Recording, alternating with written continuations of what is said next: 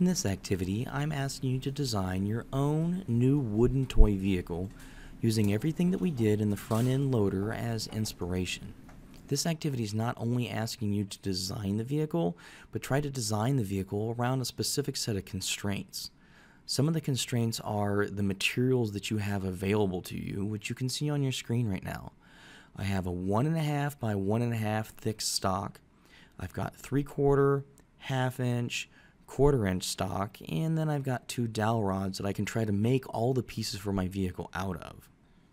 You're also being constrained by the different pieces of machinery and equipment you have available to try to cut that stock up into the pieces that you need. So not only is designing the vehicle hard enough, but trying to make that design fit that specific set of constraints is going to add a whole nother level of difficulty to it, and trying to figure out where to start can be a little bit overwhelming. So for the rest of this video, I'd like to do a demo for you on where you might get started on trying to design your vehicle. Okay, so I've gone to the internet and I've tried to go get some inspiration. And this truck that you see right now is the design that I would like to try to use as inspiration for my specific vehicle. But looking at this vehicle, there's no dimensions. There's nothing that tells me how tall things should be, how wide, how thick, and so on. So what I want to do is try to look at thicknesses first. And I can see right now that this fender is probably a pretty good place to start.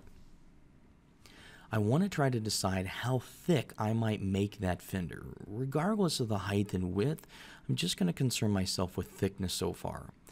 So if I look back at my stocks, I have the one and a half, the three quarter, the half inch, and the quarter. But before I can decide what material thickness I want to make it out of, I have to be able to compare it to something else. Since I have multiple different pieces of material to use, I could really use any of them right now if I don't try to think about how the other pieces are going to get created. So let's think about the bottom of the truck. If I try to compare the fender to what we would consider to be the chassis or the underneath of the truck, I can see that the underneath of the truck was going to be made out of a thinner piece. Um, so right now the fender's made out of a thick piece and the bottom of it's made out of something that's thinner than that. Was there anything else I can compare something to? Well, how about the back of the truck? It looks like the back of the truck is even thinner yet. So the green part is my thick piece, the red's thinner than that, and the blue is even thinner than that. So right now I'm going to go with a theory that my green is going to be my 3 quarter inch pieces. So anything that appears to be that size is just going to be 0.75 or 3 quarters thick.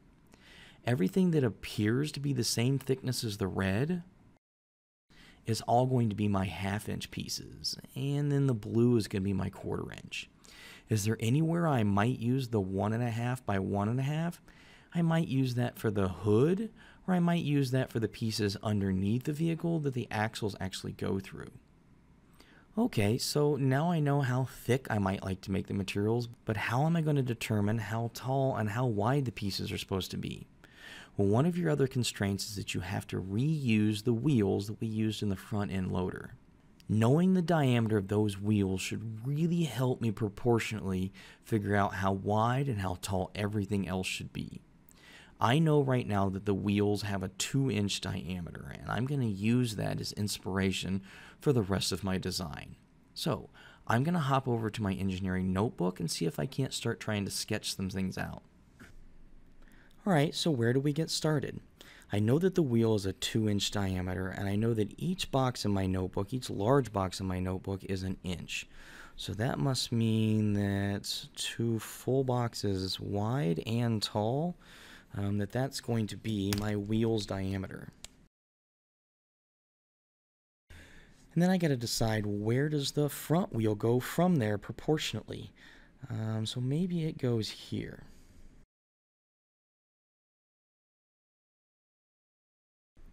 Okay, great. So now that I've got my wheels where I want them to be, I've got to think about the axles. Well, the axles are supposed to be 3 eighths of an inch. Um, well, that's a half an inch. So two boxes and a half inch, and 3 eighths is just a little bit smaller than that. So it looks like my axles are going to be somewhere in here. Okay, so now that I've got the basics of the wheel done, I can go ahead and start looking at the rest of the vehicle. Alright, so I've got a half inch block that goes underneath the vehicle.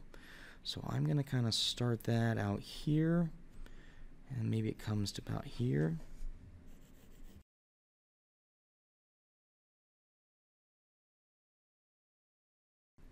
So I can say right now that that's my chassis. So we decided it was going to be a half an inch thick. And then how long is it going to be? Well, because I'm drawing this full scale, I'm now one inch, two inch, three and a half inches. So hopefully you get the idea of that's the proportions. Once I've drawn out the wheels and I know how thick I want the material, drawing it out full scale here is going to start providing me the rest of the dimensions that I don't know. Okay, so let's hop into the fender.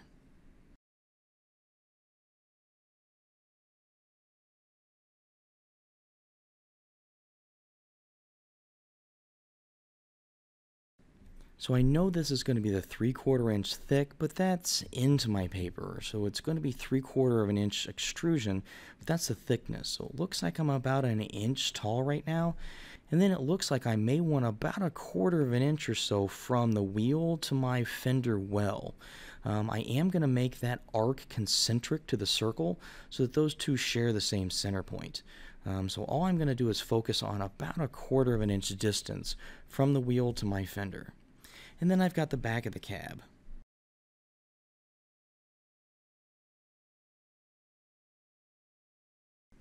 That was our thinnest piece, or our quarter inch piece.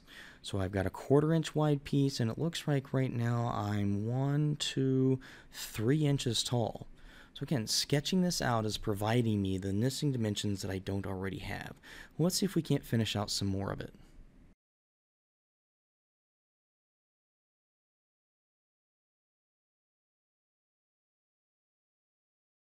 Great, and that may be everything that I need. So I'm going to use some half inch pieces for the chassis. I'm going to use a half inch piece here for my window well, a half inch piece for my top, quarter inch piece for the back, and three quarter inch piece for this fender. And everything looks good proportionally to the wheel itself.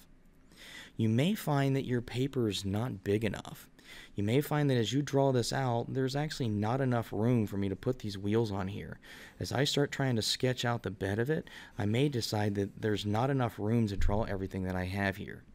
If that's the case, what you may have to do is scale everything. I may have to draw everything at a different scale. I'm going to go ahead and draw everything at half scale. So instead of these being 2 inch wheels, they're going to end up proportionately being a 1 inch wheel. So that means everything that I'm drawing is going to get cut in half or doubled when I go to put it in the software. Either way, let's look at that.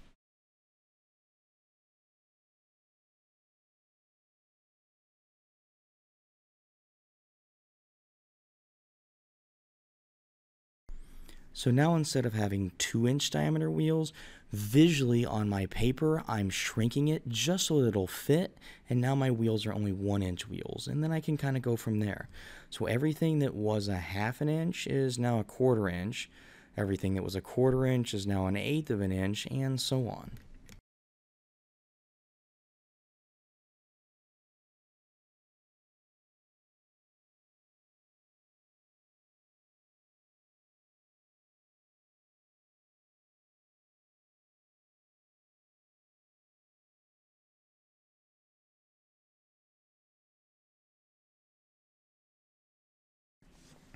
Great, now that I've got everything drawn out, all I'd have to do is double all the dimensions that I have from my paper to go into the software. But what you may find is the new 3D modeling software packages that we currently have are really making the art of trying to sketch things out by hand a little old. I can now start doing my 2D sketches directly in the software and I can see the proportions a lot easier there and get dimensions a lot more specific and not have to worry about scale at all. So let's do that. So instead of drawing it in my notebook, which you can do if you want, I'm just going to draw it directly in Onshape. And I'm going to let Onshape help me out.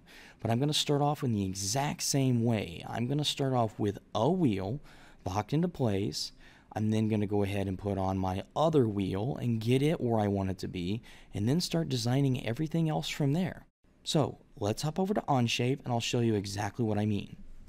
So now that I'm in Onshape, I'm going to do the exact same thing that I just did on paper. I'm going to go ahead and assign where my sketch is going to live. I'm going to go ahead and draw the front wheel, with a 2 inch diameter.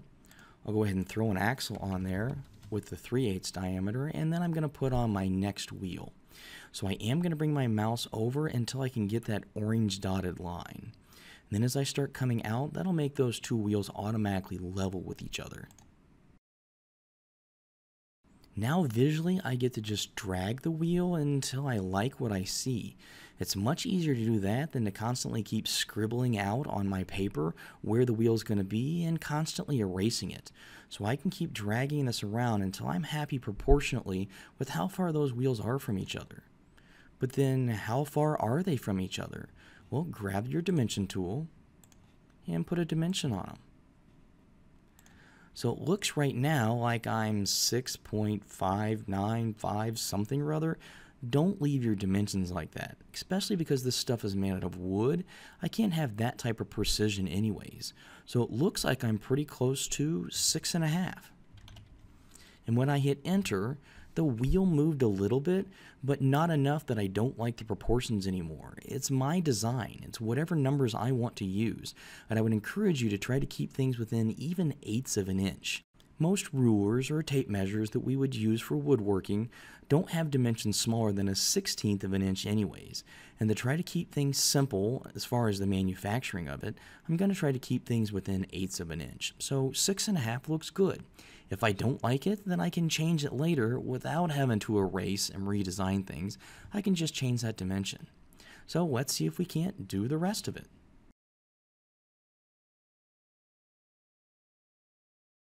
Okay, excellent. There are a few dimensions that I can go ahead and put on right away. I know that this bottom was going to be a half an inch. I know that all of these were going to be a half an inch. The back was going to be my quarter inch. And now any dimension that I put on from here is just going to be close to whatever I like. Well, I like this window to be about a square. So as I drag this around, draw it and drag it around until you see proportionally exactly what you want it to be. Then just start throwing on dimensions. It looks like that's awful close to 2 inches. So I'll make it 2 inches. And as a reminder, how do I know when I'm done? How do I know when I've put on enough dimensions? Well, that's when everything turns black. When everything turns black, that means you have enough dimensions. So what dimensions am I missing right now? Well, some of them are going to be where is the body actually located in proportion to the wheel? I haven't assigned that yet. Okay, great. Now I have some of what I've drawn starting to turn black. And anything that's still a blue circle or a blue, um, and anything that's still just a blue dot, grab it and wiggle it. Okay, so it needs to know how long I want the cab to be. Great, and now everything is turned black. I now have proportionately sketched all of my parts in the 3D modeling software. And anything I'm not happy with, I can come in here and I can start tweaking or changing until I am happy with it.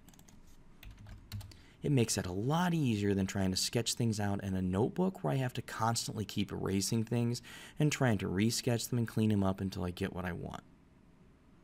Okay, great. Well, where do I go from here? Well, I'm going to go ahead and focus on the fender right now, and I'm going to go ahead and extrude just the fender.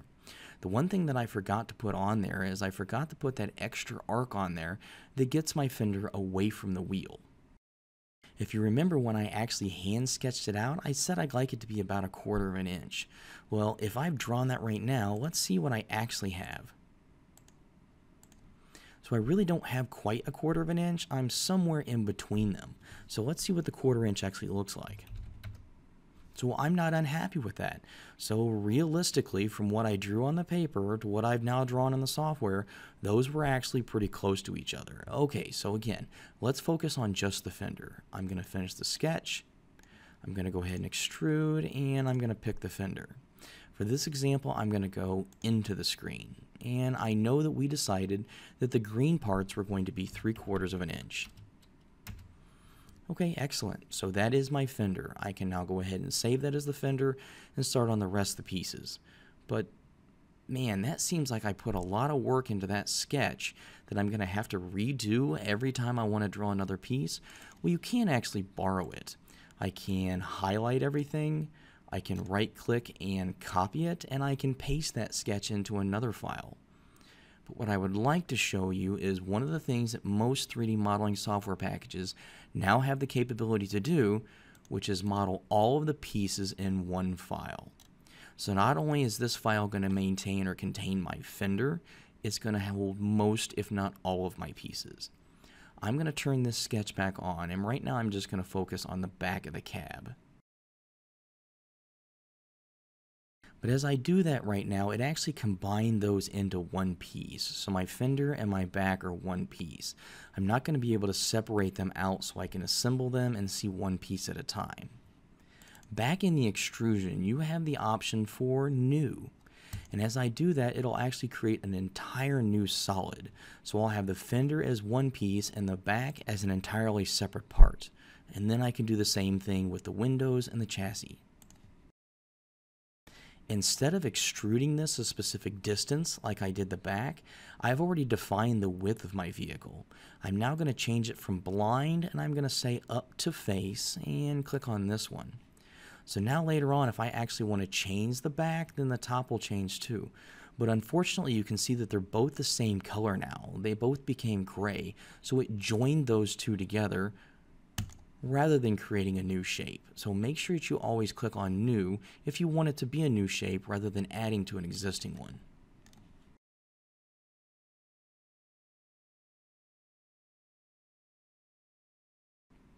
Excellent, so I now have all of these individual pieces all living in the same file. So not only is it going to make it easier to model, but it also makes it easier to edit. If I decide here in the future that I don't like the height of this, if I go back into my original sketch and I edit that 2.5 to maybe something like 2.75, when I finished that sketch, not only did it update the back of the cab, it also updated this window frame because they all live in the same file. That wouldn't happen if I created everything as separate files. I'd have to go in and edit them all individually.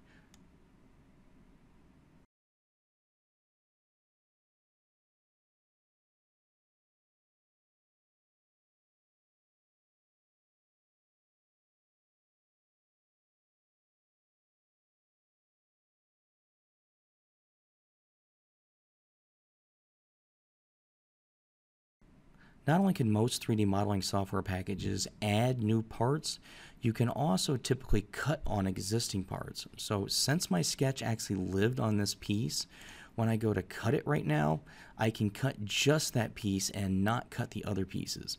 But I can change that from blind to a specific thickness as I want to. So I'm going to change that from blind to just up to this top face. So it's the same thing as a cut all because if this face changes, then those will too. Um, but because my sketch actually lived on that part, it didn't cut the individual parts anyways. Okay, so what I want to show you is I'm not actually going to make this fender and this window again. Those pieces already exist. They're all down here. So what I'm going to do is go ahead and start renaming them so I know what they are when I go into the assembly. So all I have to do is right click and go to rename. That was my fender.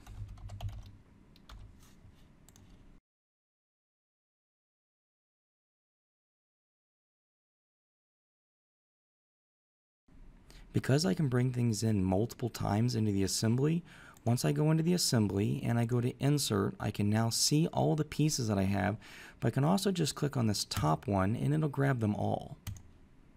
So now that I've got them, I can go ahead and insert a second fender and I can go ahead and insert another window frame. And I can build everything from there. Same thing, I can go back to my other documents, go back to where my original parts live so I can go ahead and re-borrow the wheel and the axles or anything else that I want to use. So hopefully this demo has given you an idea of where to start, how to try to start sketching with proportions and changing those into dimensions that you're happy with, and you can use this demonstration in the creation of your vehicle. Good luck!